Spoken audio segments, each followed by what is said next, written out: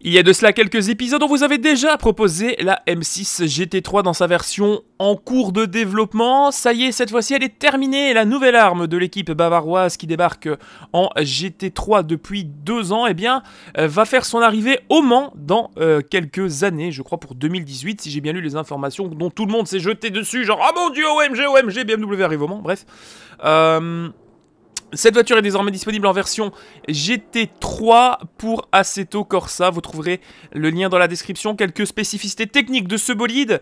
1420 kg sur la balance pour une puissance de 500 chevaux et une vitesse de pointe à plus de 320 km h et une accélération de 0 à 100 en 3 secondes 3. Bref, une GT3 nouvelle génération pur jus.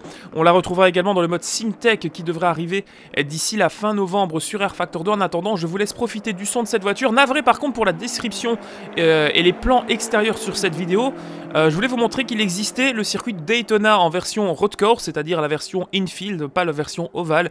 Malheureusement, les caméras sont encore euh, à l'étude et le circuit est encore très tôt dans son développement, mais voilà, avec le banking, ça donne bien deux manières différentes de piloter cette BMW, la version infield très technique et la version plus rapide sur l'Oval, le banking. Euh, la voiture, quant à elle, est plutôt bien réalisée, même a encore beaucoup de travail, je trouve personnellement sur la physique, elle paraît encore trop légère, on a un peu le sentiment d'être sur une GT3 beaucoup plus petite.